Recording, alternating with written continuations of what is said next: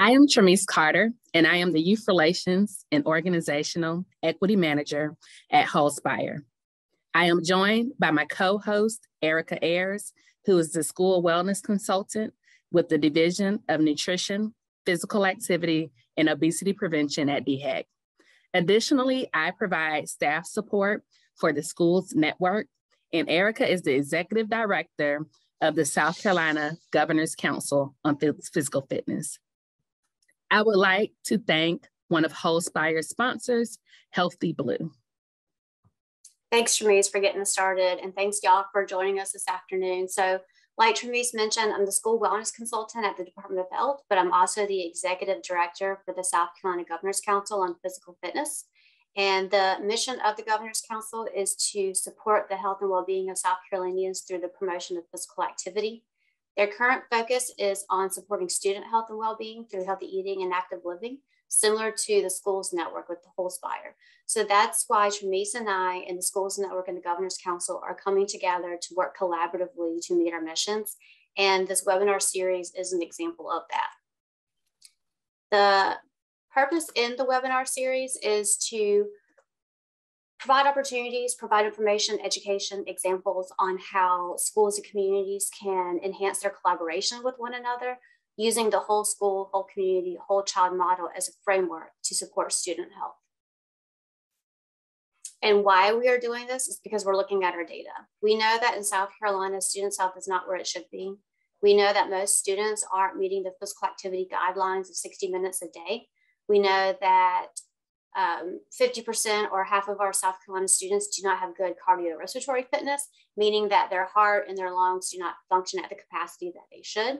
We also know that one in three of our South Carolina students are overweight or obese, and that these students are at a higher risk of developing a lifelong chronic illness, such as hypertension, diabetes, or cardiovascular disease, not just when they're adults, but also in their childhood, which could impact the quality of life for the rest of their lives. So, what are we doing about this data? How are we addressing it? Uh, how are we making sure that our students have equitable opportunities to uh, be healthy and to be successful? We're working together. And like I mentioned earlier, we're using the whole school, whole community, whole child model to enhance that collaboration. So, what does this look like in South Carolina? Well, uh, we just we went into this a lot deeper with our first webinar session our panel session that was about a month ago. And that is on the wholespire website if you didn't get a chance to check it out. And then today we're going to explore this a little bit more of what this model looks like in south carolina with our panel from york county. So Tremise, i'm going to hand it back over to you to discuss our agenda for the day and to introduce our panel Erica. So as Erica mentioned, the last time we heard from a panel on the whole school, whole community, whole child framework and ways community coalitions in schools can collaborate to support student health. This time we're showcasing Wholespire York County and the York County School District. Today's agenda includes an overview of 5210. It includes also the coordinated school health advisory councils plus school improvement councils and advocacy on safe routes to school. Before we move on, we do have a poll. Please tell us which role best describes you. Okay, it seems that most people fall into the other category. However, we do have about 23% of district administrators and staff. We have about 22% folks on the call who are state stakeholders. We also have a representation of community stakeholders as well as school administrators. So thank you for completing that poll. Okay, so I would like to introduce our panelists. We have Dr. Dave Keeley, who's on the leadership team, advocacy committee, and he is also the 5210 project leader for Wholespire York County. We also have Elizabeth Duda, who's on the leadership team, advocacy committee, and communications. She also is the co-chair for the Bike Ped Plan Coalition of York County. So could you tell us what inspired you all to take action in York County to support student health? Well, it's my pleasure to be uh, on this call. And uh, what inspired me um, was the progress in the wrong direction of the childhood obesity epidemic uh, in our area. We um, use South Carolina FitnessGram data and data from the Head Start centers in our area and track the um, progression of the epidemic. And um, that is, as I'm going to show, was really the reason for um, getting started with what a, with some action, and um, that led to um, some incorporation of existing uh, efforts, the Alliance for a Healthier Generation opportunity in the Rock Hill School District, and as I mentioned, the um, continuing to track um, as best we could elementary school um, BMI for age data. So next slide. Right here, I want you to just take note of two things. Uh, first, um, we have second grade, um, and in the in the blue is the combined overweight and obese, and you can see it's just over 30%, which is, as Erica Ayers mentioned, the statewide current um, FitnessGram data shows about 33%. So, um, you know, back in 2016, 2017, um, that's where the second graders stacked up. But what's most important is how that number grew by 10 percentage points um, between second graders and fifth graders.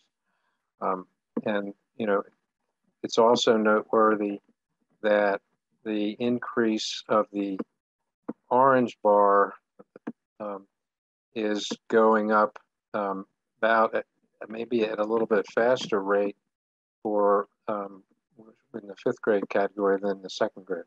Next slide.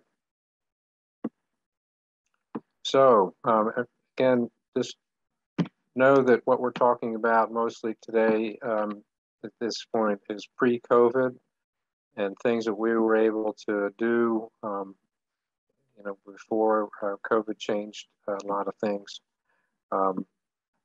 As our action, we've organized a, um, we were called Eat Smart Move More York County, and now our new name is Wholespire York County. And we organized a committee uh, to study uh, what might be a good strategy to take action. And we uh, landed on a um, national program that was piloted and shown to be evidence based in the state of Maine called Let's Go 5210. And as you can see, uh, we drew on a cross section of um, important uh, stakeholders and um, folks involved in education and healthcare. Next slide. So here's the logo uh, from from Maine, uh, let's go dot org. Uh, a lot of material there that uh, you can go and, and, and look at if what I say, you know, stimulates you in that direction. Next slide. The um, story as it unfolded in, in York County uh, was at about the same time the Charlotte metro area um, was also concerned and having conversations about what to do about childhood obesity. And uh, we were able to um, partner up with um, the what is now Atrium Health system, and um, they and Wholespire York County saw the value in the 5210 Maine program, and we got trained by folks from Maine and we launched a, um, a, a, rebrand, um, 5210 League. And you can see the um, what the different numbers uh, refer to. Next slide.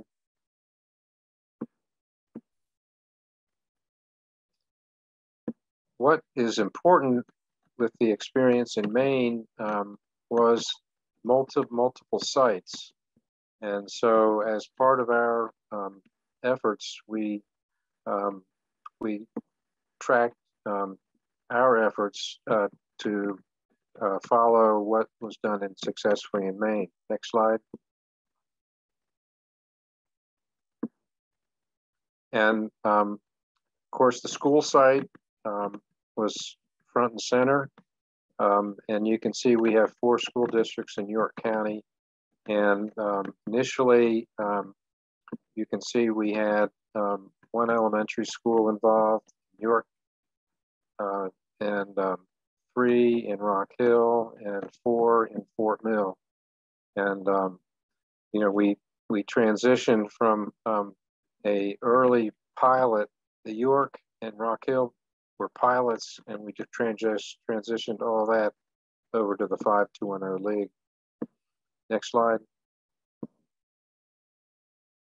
We also um, paid attention to the community setting, and it, it was it's important uh, when you have um, you know health concern that um, leaders, other stakeholders in the community become aware.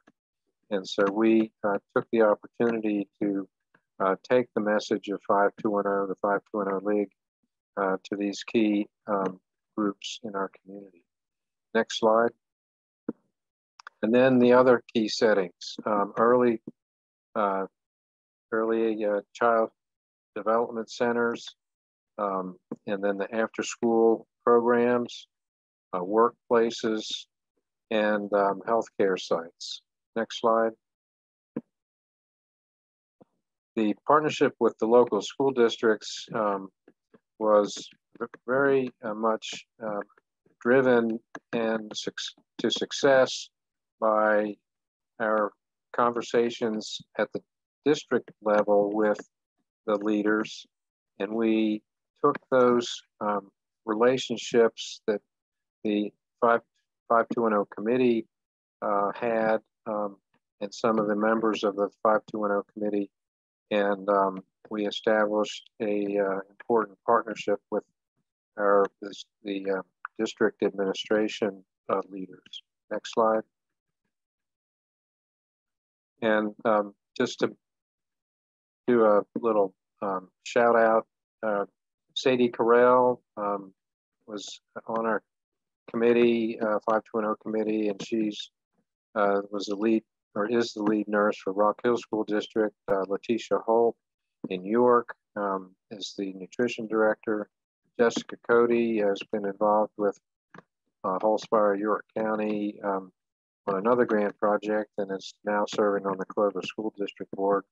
And Roland Kabatting um, was um, the nutrition director and the chair for York Wholespire, York County. So um, just you can see how the success that we um, were able to achieve um, involved folks who were already involved with Wholespire.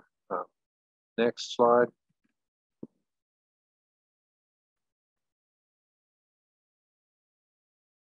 So um, when we're looking at, um, you know, what what can you do? What what what are the key things uh, for you to note?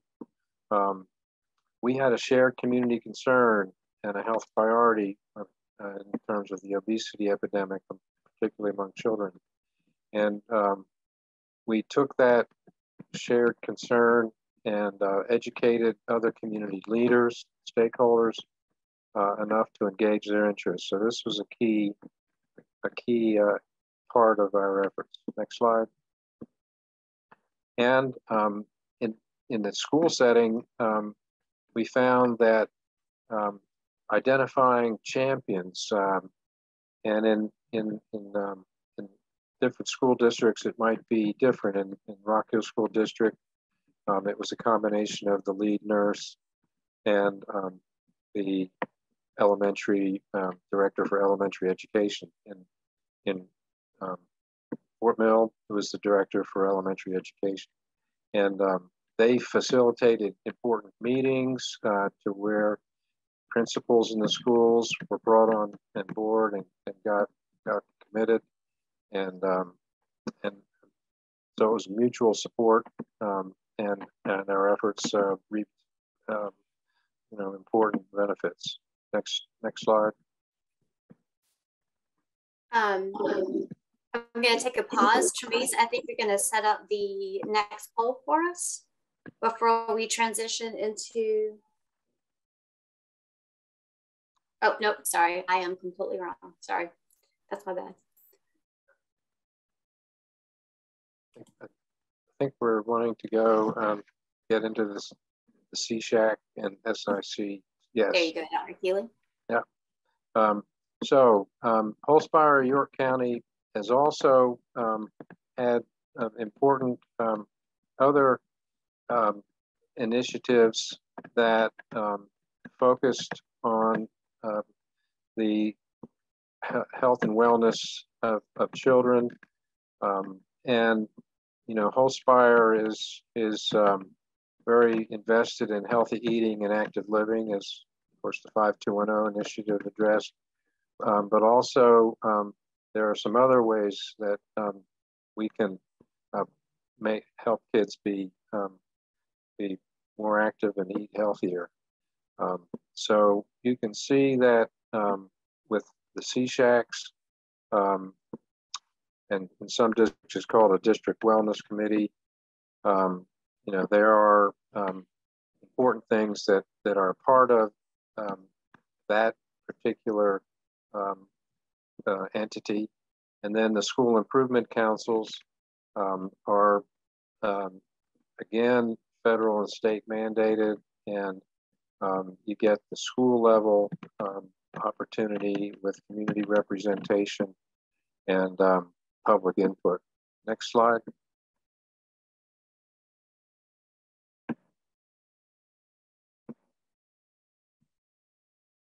So pre-COVID again, um, what we Wholespire did, um, and we're going to call this top down. Um, when you um, we we we got the from our four school districts, we got the uh, CSHAC lead person um, to, we invited them to a meeting and served a light lunch. And we talked about um, some key um, ideas for um, healthier eating and active living. And so we in, engaged in a um, important effort for open community use of school playgrounds, uh, we um, also um, had amazing um, re, uh, success with healthy snacks in schools.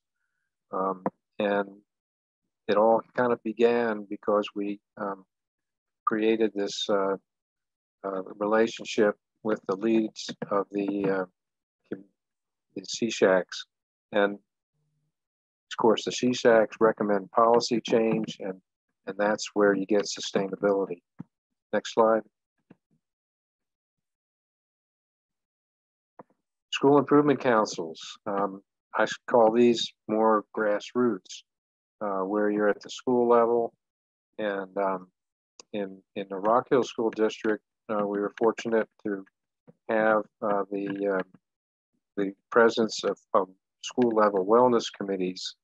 And um, in in one instance, I served on the School Improvement Council for Ebinport Elementary in Rock Hill, and we had a uh, concern that the traffic need to be calmed um, in approach to the school for children walking um, or riding bikes.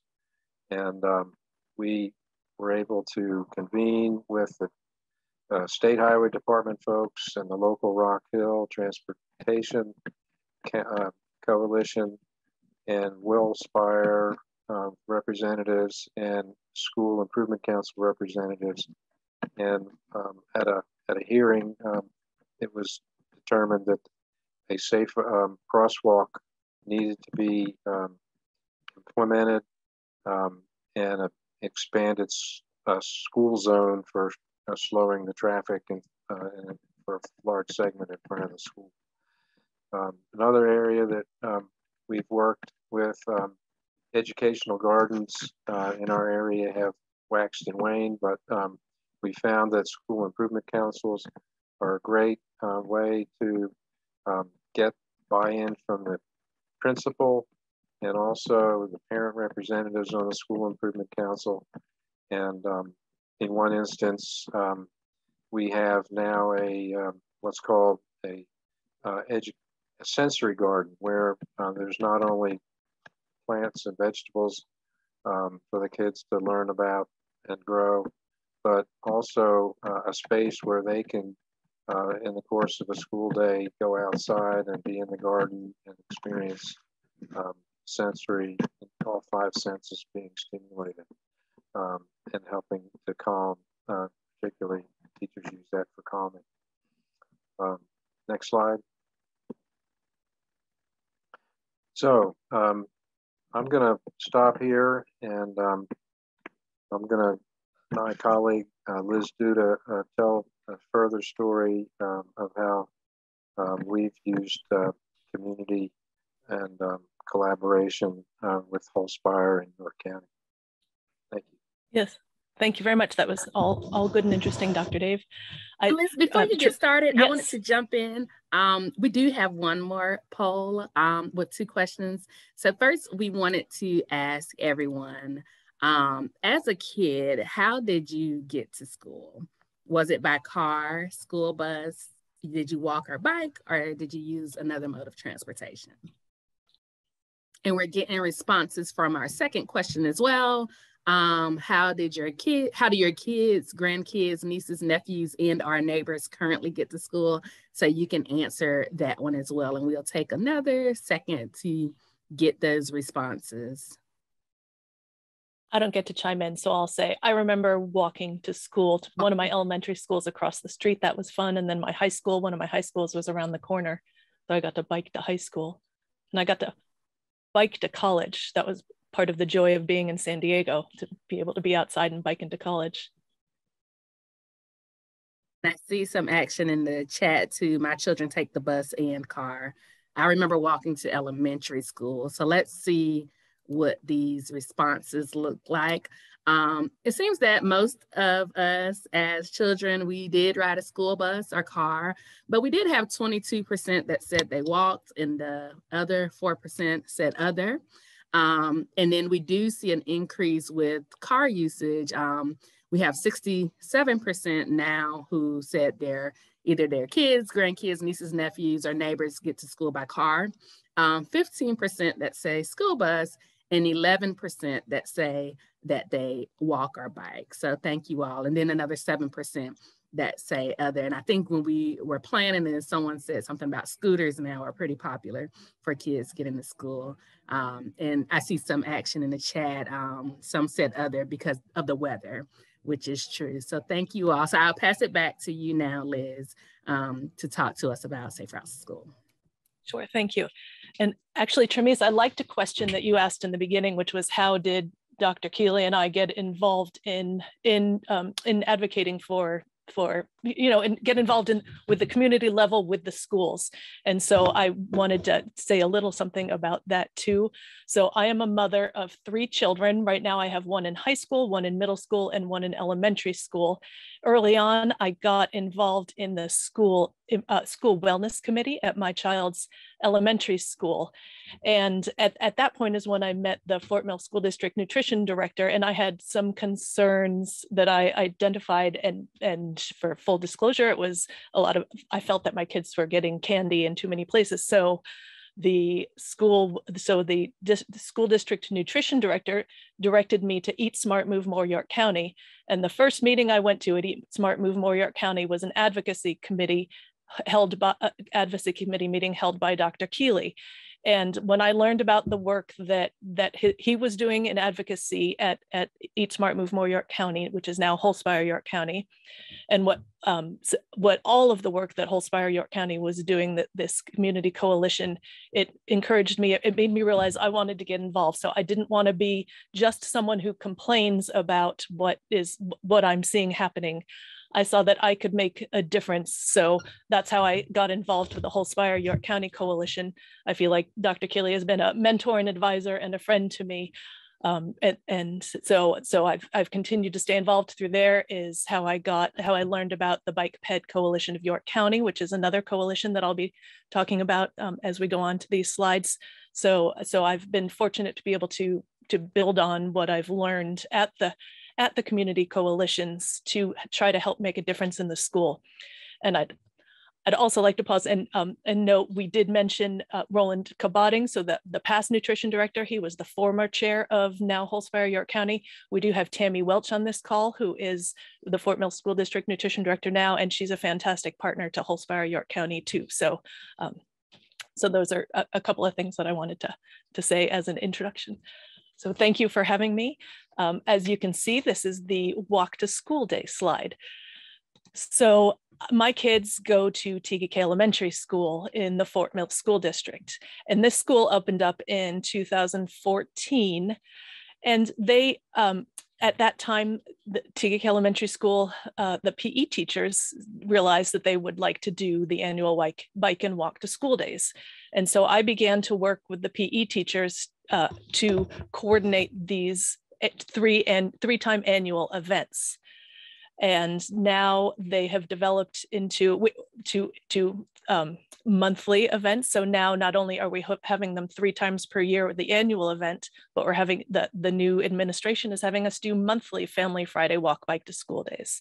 So they found that these annual events were so successful that they wanted to encourage it more frequently. I'd say the reason why these annual events are so successful is because of the community interaction that they have. So we um, we were guided by Safe Routes, the Safe Routes Partnership and Safe Routes to School, which you see on the screen. So the Safe Routes Partnership is a national nonprofit organization that, it, that is working to advance safe walking and rolling to and from schools in everyday life. So the goal is to improve the health and well-being of all races, of people of all races, of all income levels, all abilities, and the goal is to build healthy, thriving communities for everyone. So, so we worked with them to plan these days. They gave us guidance, um, and and so we've invited community members to participate in in our three-time annual events. So I'd say the biggest draw is the coffee with a cop, which Tega Cay Elementary uh, um, has a park right next door to it. So the police officers set up a tent in in the gardens next door. And it is such a thrill for the kids to ride or so bike walk roll uh, scooter skate through the park and stop and get a cup their parents get a cup of coffee with the police officers. The kids get hot chocolate. And it's just such a neat interaction. Um, and so um, another thing is we invite other community members too. So we invite the city council uh, the school board and um, other other community members. The Tega Cay Fire Department often will be at the front door of the school and uh, welcoming the kids into the building. Uh, so the the city puts it out into into the newsletter often, and there's a flashing sign at the beginning of the city that says "Walk to School Day this Friday." So these are really fun events um, the, the PTO gets involved and promotes them and will hand out non-food goodies to the kids. So I'd say this is a really great event at, at held at Tega Cay Elementary School. And I'll point out the, the third, so there, there are three um, annual events, well, two, two national events and one was a South Carolina event. And uh, you can also see on the screen, Safe Routes to School South Carolina is now defunded, defunct, but we're, we're, we're continuing to do the third event that it promoted if you are interested in doing this for your school, the next one is coming up next week. So check out the Safe Routes Partnership website and you can sign your, your school up and get their advice and input into it. Okay, that's what I'll share about this slide. In the next slide, I'll tell you a little bit more about it. So what is what we seek to do in these events is to promote values that are that are important to the school. And we've identified these as community. So we get the community involved as i've described and you can see the pictures here of the coffee with a cop event. We promote the physical activity and mental health so the benefits of biking and walking to school. It's also good for the environment. Something that uh, people have expressed concern about in our community is is crosswalk safety and bicycling safety can the can the pedestrians get along with the bicyclists on the road? So we encourage parents to take this opportunity to teach your children uh, cycling pedestrian and crosswalk safety. So use use these events to, to work to work with them on on making sure they're walking and biking to school safely. And we joke that it's a shorter car line that, but, um, so that is a benefit on um, there can be a long car line so it's nice to see a shorter car line Um, so, and we also want to make sure that's fun, that um, people see if you, you're going to these annual events and now monthly events, this is something that you can work into your normal routine. So I've already discussed how we get the community involved. This slide is talking about the partnerships that we had. So something pretty neat in uh, I saw in the school uh, administration's letter to parents last year, they, they cited these bike and walk to school days as their as a successful example of community partnerships that they have. Uh, then we we work with the PTO PTA to promote these events school wellness committee it was it was when when I was on the school wellness committee uh, it was we who had planned and, and helped execute these events we I'm a member of the school improvement council so, uh, or I had I have been a member of the school improvement council so I always make sure to update the school improvement council to let them know when these events are. And then and those are other groups that we have invited to to participate or get involved or promote it. Media sometimes comes out and takes pictures. I've uh, gone into the radio station my son and i have gone into the radio station and talked about these events so they really are exciting and generate interest. Thank you so we can move on to the next slide so those bike and walk to school days are are an example of a of a happy of a happy good um, good outcome in our community. Uh, so partnerships between schools and the community. This next one is, is also has a happy outcome. And this is one of our success stories. So I've mentioned the Bike Ped Coalition of York County and Wholespire York County. We are um, we have worked together to support community members who were seeking to advocate for a continuous sidewalk to school. So we saw that someone had put online a petition to say that they needed a continuous sidewalk from their from multiple communities, so multiple neighborhoods to two schools, two new schools that had been put in. And so we contacted the parent and said, learned her story and said, How can we support you? And so she said, Can you help me get the word out? So we did. Uh, we promoted the petition and talked it up, and that petition grew very quickly from 100 to over 800 signatures. So then she was able to, um, she then went and spoke before uh, different people. So something that she wasn't sure of was who all should she be contacting who would be most effective for her to reach out to in order to, to make make progress in getting this sidewalk to school. And so uh, uh, we have the contacts at, at our, in our coalition. We have contacts we have knowledge so we introduced her to the right people suggested the meetings that she should go to helped her with her talking points one thing that we did, we wrote a couple of articles that, uh, or blog posts that we put on our website, and that consolidated the information so people could go there to understand what was happening. The media could look at that, uh, and media then did do a couple of stories on this. And um, so, so we helped draw attention. We helped her make connections. We helped her make public comments. One meeting that she went to was the Municipal Planning Organization. And, you may know that includes transportation officials, mayors, county leaders. These were the people who were able to approve the plan, and these are the people who could access the funding. So, whereas she said when she was meeting with people, it was no, we can't do it. It's too expensive. I'm not. Uh, you got to talk to someone else. In the end, uh, with with the dialogue between the appropriate parties, which in this case were the county, the town, the school district, and the South Carolina Department of Transportation, people came together and did say this could be a priority. They were able to get the funding, and now there is a plan in place for the continuous sidewalk to be to be to be um, installed. So um, so she we uh, and also we helped her identify other parents too that that took on um, the role of communicator in their neighborhoods. So ultimately our coalitions wrote a letter of support for the funding and and backed her uh, request. And you know everybody wants a kid to be able to walk or bike to school so this is a this is a good win. So that's a success story that we had in the coalitions. And, and i've got a couple more examples of ways that our coalitions get involved. So this one uh, at Wholespire, York County, we often have uh, guest speakers in one of the guest speakers, we had, as Dr. Keeley pointed out in an earlier slide, Letitia Holt, who is now on our leadership team from the York School District. Before that, she we heard about her and how she had um, had championed a food waste reduction program in her school district. So we invited her in to talk about that food waste reduction program. And it was very exciting and we shared it with other school districts. Excitingly also the, the fort mill school district realized uh, that this um, would also help their school and and i believe they um, i think it was already in the plan to to do a food waste reduction of some sort but we were able to work with the fort mill school district and support their application and they were able to ultimately get funding to enhance, grow, enhance their food waste reduction program.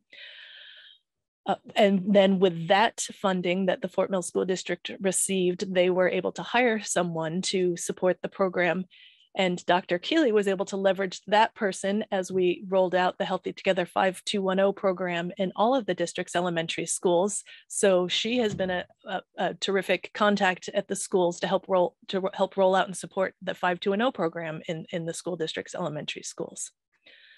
So really, uh, we, we try to keep the ideas coming. We try to keep the conversation open. We try to support support people's ideas, uh, and and we leverage our relationships to to to um, to make a difference in the schools. Our goal is to be responsive and helpful. And we also know it's very important to be targeted since schools are busy. So we, we try to focus and make sure that we're making a difference in the area that is important to the school. So as I said, uh, I'm a parent. Many of our members are parents ourselves and involved in our school districts, our children's school districts. So we all realize it's important to work together to raise healthy children and teach them a healthy lifestyle over the long term. So, so this is, that's, those are some ways that we've engaged and worked with our school districts. So I think I think we pointed this out earlier, but if if you identify a shared concern or a shared health priority, then we can we can share ideas about it, educate the community members, and and see where people are interested, and we can engage them on those interests and and support their efforts to to enhance their whatever program it is that they're doing at their school, be it a food waste reduction program or needing a sidewalk, um, you know. And, and as I said, uh, finding school teachers, staff, or administrators as champions. So we have good relationships with all of the four school districts in our area, and we have been privileged to be able to part with them, partner with them, and support their efforts to the best of our ability. So everyone, here is the contact information. Um, if you need to get in touch with either Dr. Keeley or Liz, please use the contact information on the screen. And we'd also like to thank both you and Dave, um, Liz, for presenting um, and then being a part of the webinar series. So thank you. Now, if you have any questions, please put them in the Q&A box and we will use the Q&A feature to answer any questions. So I'll give it a minute or two to see if we have any questions come in. Um, once again, if you have any questions, please put them um, in the Q&A feature. Tremise, I could, while they're thinking, um, I could add that, um, you know, when I talked about this school improvement councils and the CSHACs, these have required community representation. So um, these these are opportunities um, for um, you know coalition. If you have a local coalition um, like we, like us, these these are great um, opportunities for uh, at the grassroots level to um, you know make have your voice heard, make make suggestions, and uh, create those synergistic partnerships. Um, also, um, engaging school districts. Um, I forgot to mention that the Alliance um, for Healthier Children is a program that is very strong and um, evidence-based. And one of the successes that we had uh, in Rock Hill School District really was that the 5210 initiative and the Alliance for a Healthier Generation dovetailed. Um, and, you know, for policy change uh, that had the same kinds of um, ideas that were um, being uh, put forward for policy change and sustainability. So um, if you have an alliance um, program in, in your area, uh, that can be a very, very good opportunity. Thanks, Dr. Keeley. And we did get one question about the slides. Um, yes, we will send the slides out next week, and we will also have a recording of this webinar that we will send to everyone who has registered. So you will receive that information. And at this time, it looks like we don't have any other questions. But once again, you have the contact information from the panelists, so feel free to reach out to them, or you can contact um, myself or Erica Ayers if you have any questions. So before we end today's webinar, we do want to leave you with a call to action. Um, the first thing, like before, is find your community coalition or organization or either your school district wellness committee. Reach out to find out who those champions are and schedule an introductory meeting. And then after that, being sure to find common ground. So what are the needs of both the community and the school? So that's our call to action for everyone who's participating on today. And we also wanted to tell you about the next and final um, webinar in this three-part series, which will be on May 25th from 3.30 to 4.30 p.m. And during that webinar, we will be joined by Joanne Mender, who will be telling us about the Summer Break Cafe, which um, some of you may know as the Summer Feeding Program, um, formerly the Summer Feeding Program. So as we close, we want to thank you all once again for joining us. We do have certificates available. So if you need a certificate for participation on today's webinar, please add your name, first name, last name, and email to the chat, and we will share a certificate with you, um, and you'll receive that around next week.